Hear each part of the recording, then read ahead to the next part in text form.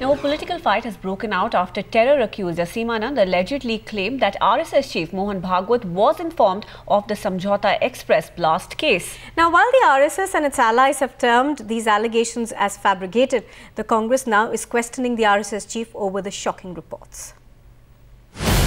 He has been implicated as the prime accused in the 2007 Samjhauta Express blast case. Arrested and being tried for plotting the murders of at least 100 people and now, in an explosive interview released by a top news magazine, Saffron terrorist Aseemanand points fingers at RSS chief Mohan Bhagwat, claiming that the acts of terror were sanctioned and approved by the RSS top brass. A charge that the party and its allies outrightly deny. This interview is 100% फर्जी है fabricated है concocted है conspiracy.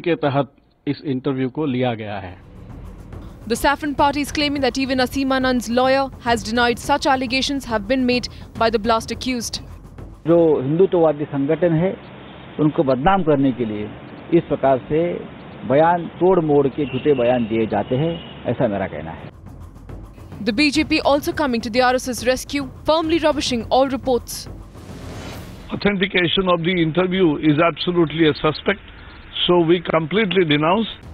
The Congress, however, going for the jugular, questioning the RSS over the latest charges.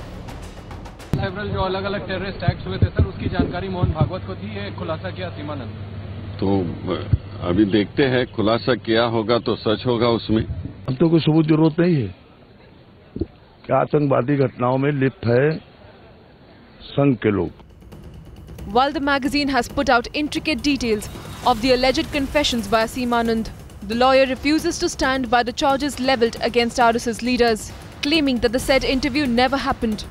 The question is, can the startling revelations be backed with proof? Bureau Report, Times Now.